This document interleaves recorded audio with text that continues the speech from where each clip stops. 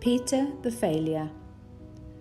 Luke chapter 22, verses 57 to 60.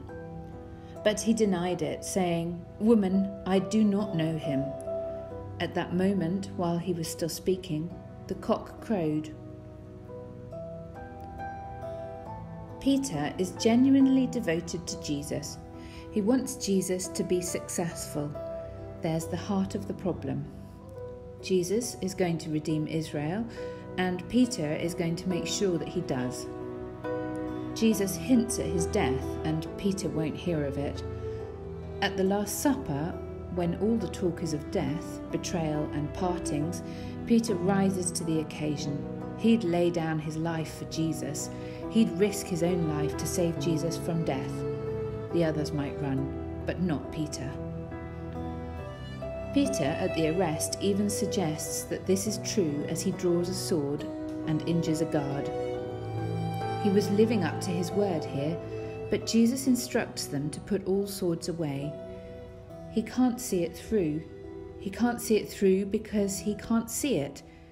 He wants Jesus to be the Messiah in the way that he wants. He wants to be a disciple in the way that he wants.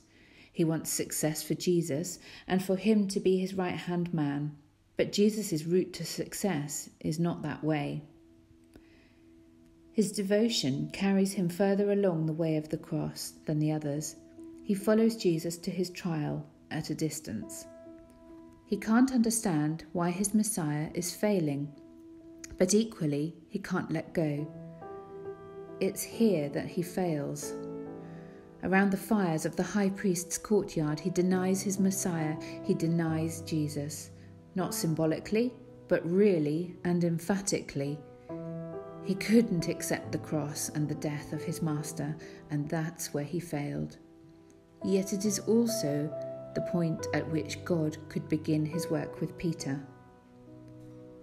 His failure allows him to begin to walk the way of the cross his failure becomes God's success. Only by losing ourselves do we find ourselves.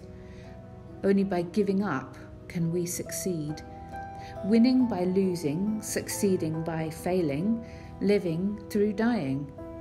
Paradoxes created by the cross of Christ. Failure enabled Peter to be the disciple Jesus wanted him to be. Only once his arrogance and self reliance was broken could God's grace be at work. Peter helps us to discover that failure is no disqualification from discipleship of Jesus. Failure is God's opportunity to let us see his grace at work. Is there room for the grace of God in our discipleship, or are we following on our terms rather than the Lord's? Let us pray. Lord Jesus, too often we want to be your disciples in our own way, not yours. Too often we want you to endorse our projects and give them success. Too often we pursue our own very worthy objectives instead of following you on your way to the cross. Forgive us. Restore and renew us.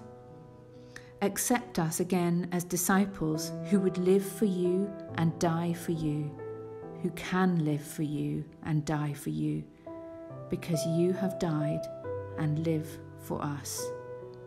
Amen.